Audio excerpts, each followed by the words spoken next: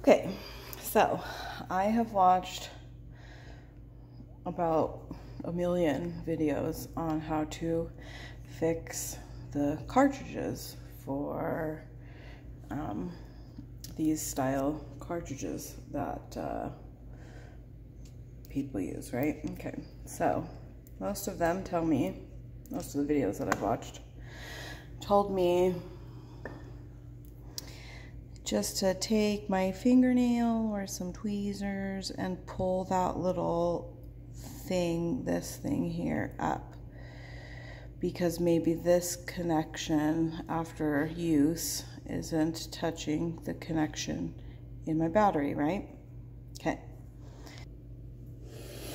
Okay, so I did that like a million times. I pulled that thing up over and over again, put it in, nothing worked. The lights just kept blinking, telling me that something was wrong, right?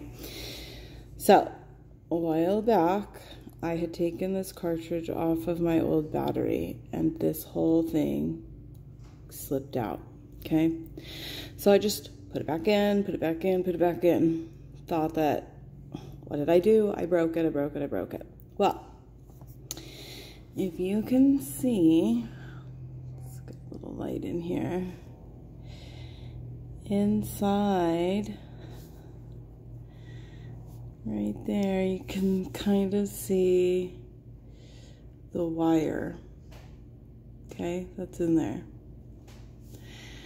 Now on this part that came out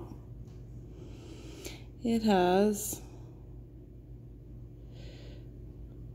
a little hole that goes straight through it. And I thought hmm Maybe that wire is supposed to go through those holes.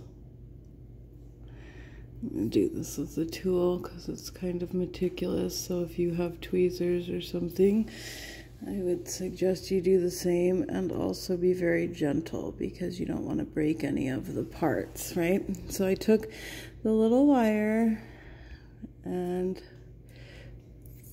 threaded it through that hole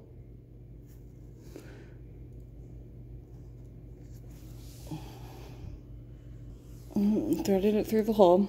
Okay, it doesn't like come out the other side or anything. It just goes into that little hole and then you just kind of shove this back inside of it, right?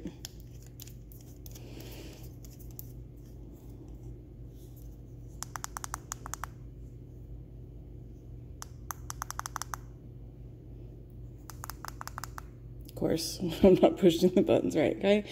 So before, when it was broken and not ripping, the lights would blink telling me that something was wrong with my... Sorry, anyhow, telling me that something was wrong with my thing. Now, the light, well, in the camera it blinks, but in real life it's just solid.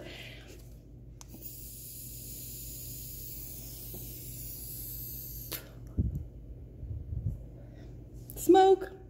Yay. So, if you have, like me, watched a million videos on what's wrong with my cartridge, why won't my cartridge work? It might not be this, if this is fine, okay? It might not be you having to pull this thing out like all the other ones say. It might just be the connection with the wire inside of here is not there or this thing pulls out because it gets stuck to here which has happened to numerous cartridges of mine. So i'm sure it's happened to other people right? This part you take your cartridge off and this part is stuck to the inside right here okay?